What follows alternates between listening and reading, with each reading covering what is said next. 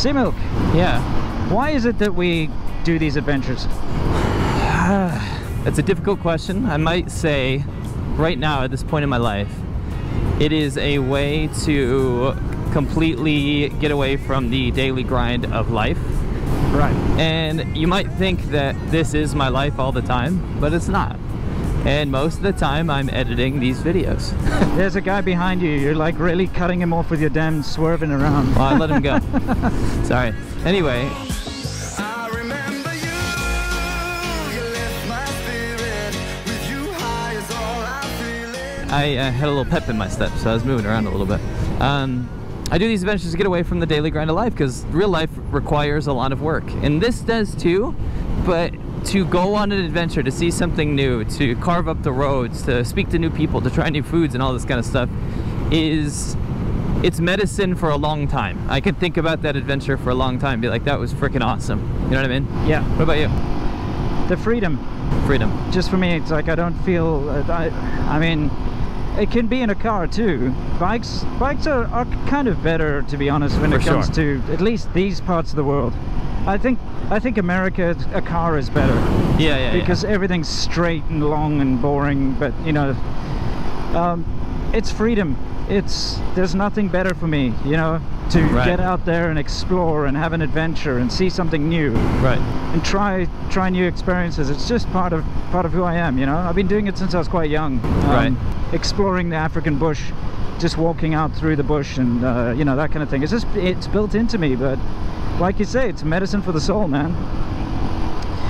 So it's pretty cool that we can share our adventures with people, and you know we do talk about a whole bunch of topics and you know, it's usually China related, but at the same time, I hope that there's somebody who's got a nine to five job out there who can watch our videos and just kind of see what we see and and and be able to just have a little bit of adventure of their own. What do you think? Yeah, for sure. Especially with camera technology nowadays. Yeah. I mean, back in the day, it, it was hard to watch a 240p video and feel like you're there, but now I feel like it, it is like that.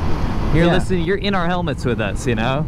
As we go around doing this kind of stuff. I feel like that is, I wish I had that back in the day when I was watching travel videos. Yeah. I wish I could watch something like this, and I really hope people appreciate that too. But most of all, I mean, like, it is, it is for us. It's something we're doing for ourselves, but it almost seems selfish not to uh, be able to put it out there for everyone to see. Yeah, uh, I mean, look, the thing is, not everybody's in the position that they can up and go, and especially for me, most of my younger life, I, I didn't have the time. It took so much time and effort to get enough time and finances to be able to do something like this. Agreed. You know? Same. Like the first real big trips that I took were once I'd established myself in China and I had enough money to to figure things out, you know. Right. Whereas, uh, you know, like in South Africa, I was a nine to fiver, you know, and and I had this one epiphany one day, and I don't know if I've talked about it, but this was when I was still like a network administrator and IT guy, and Mhm. I was living the usual life, the usual Western life, where, you know, you work, you drive to work, you work from paycheck to paycheck. You know, you get to work, you do your thing, you have your lunch break, you go home. You kind of go out on the weekend to the bars with your friends or the clubs, and you know you do that, and you pursue Rinse all these you know the, the usual stuff right you you you pursue your your the hobbies and desires as much as you can with your limited budget Right. right Right. um but then one day i was driving in traffic you know because that's what you do when you have a nine to five is you're stuck in traffic every morning right. So i'm sitting in traffic and i looked over to my right and i saw a guy who must have been in his 50s i think.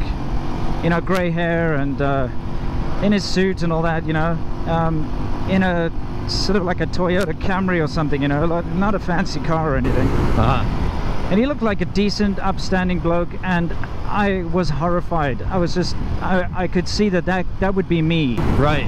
if i continued with this lifestyle that would be me. I would be that 50 year old Mm-hmm. Not that there's anything wrong with that, but it's not respectable respectable looking guy in his suit Right. sitting in the exact same traffic that i'm in in a car in a car that's kind of the same as what i'm driving Right. going to do his whatever his job is Right. day in and day out and that and i and i just thought you know yeah he's probably got a car and a house and a family and everything but like that that can't be me i don't want to wake up one day and that's me you know Right. Right.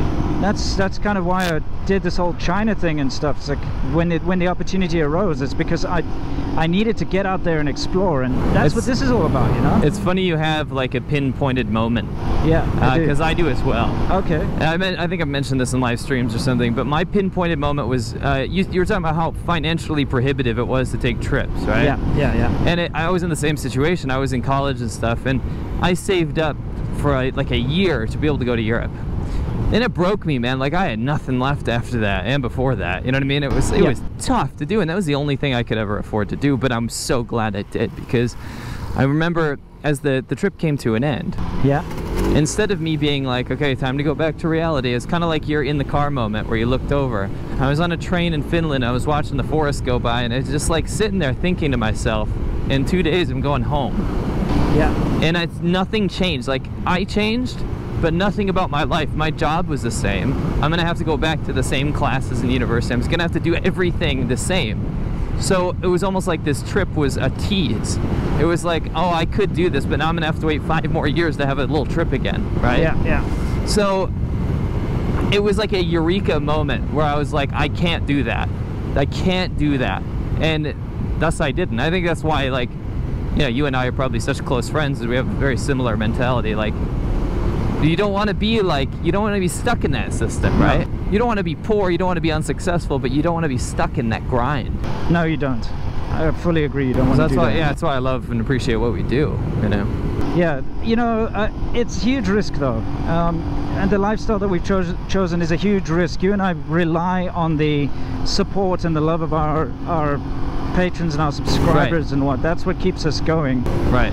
And luckily, we have that support because they they want to share in our adventures and share in our our lifestyles. But uh, most people, that's just an unacceptable risk. You know, most people can't let that go because stability is, is of course something that most humans strive for. You know, like Right. it's, it's one of the things that I'm most upset about in my life is that I don't have a stable situation. Sure. Living in China, any minute my visa could be cancelled.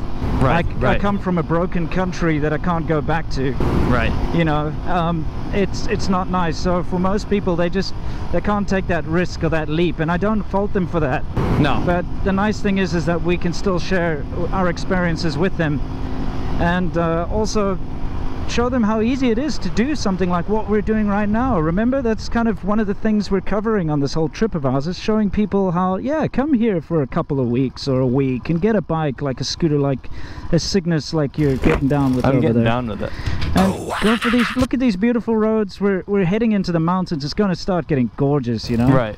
And look you just look around at all this exotic stuff there's a big temple gate or a village gate over there you know Right. Right. with the lions and the stones and the weird stuff It's And stuff we don't even pay attention to anymore because we've seen it so much, but you will appreciate it. absolutely like everything around us is exotic there's not a single word of english anywhere Nope. you know No. it's just awesome Yeah. and uh, it's it's something that I hope I hope that all of our subscribers will get a chance to try try and do something like what we're doing Right. you know It can only make the world a better place as well. yeah I- Because people get caught, I feel like people get caught up in news stories and all this kind of stuff instead of actually just saying, you know what, this doesn't affect me directly. And if I was to go talk to another human from a different background, I might have a different perspective. Yeah. Right. You, you know what I want us to do? You know we've got a website, right? We've got advchina.net. I want us to put up a little fact, like a little FAQ, with some step-by-step instructions on uh, the easiest way for anyone who is feeling like doing a little adventure like this. Right. You know, we're not in it for profit. We're not trying to ask for money or anything, but I want a little step-by-step FAQ on how you could actually come here, get a bike, and go for a ride like like we are now. Right. What do you reckon? I Kind of- fully agree. And I think that information should be free for all. Yeah, and it's this is something that I just kind of want to give back to all of the people that have uh, supported us. Right, because it So took us a while to figure this kind of stuff out, and you guys should be able to enjoy it just like we have for being such awesome, loyal subscribers. Absolutely. Yeah, man. So, like, I'm kind of glad we talked about that. I just wanted to get that out there and say a massive thank you to everyone. Is there Right. anything you would like to tell our subscribers before we sign off? I can't, I mean, whether you have the means or not, I can't stress enough how important it is for people to open up their mind a little bit to get out there and, and, and see something else, something different from that grind that you might be used to, right? And I, I almost promise you'll enjoy it. And it might not be easy, but it will be memorable. And that, I think that's a very important thing. A very, very important thing, right? For sure. Um, Falun Dafa, look at that. Yeah, yeah, yeah. Um, that's really funny. Anyway, um, we are about to go enjoy something absolutely gorgeous. It's going to be amazing. Yeah. We're going to look at Falun Dafa propaganda on the Let's way. not look at that shit. We don't want to even mention that. We're gonna mute no, that out. Um, but it was on camera. But either way, we're going to enjoy these carving up these mountains. It's going to be freaking fantastic. That crisp mountain there. I can't wait to get up there. And uh, I hope you guys enjoy it with us too. So thank you for subscribing. And if you haven't, please do that. And uh, yeah, check out the website. We're going to have a fact up there for you. yeah, it's gonna be awesome. So, guys, check you later. Uh, and whether you are an adventurous type who who would actually take our advice and come out here and do it, or someone who will just you know vicariously live through our videos, we absolutely love you all the same, guys. So until next time, you know the drill. As always, stay awesome. Whoa, whoa, whoa. Catch an ADV China every single Monday at 1 p.m. EST. Click here for another one. Right here, you can see a Laowhy86 video every single Wednesday at 1 p.m. EST. And the same time, 1 p.m. EST. But on Friday, you can watch a Serpent ZA video.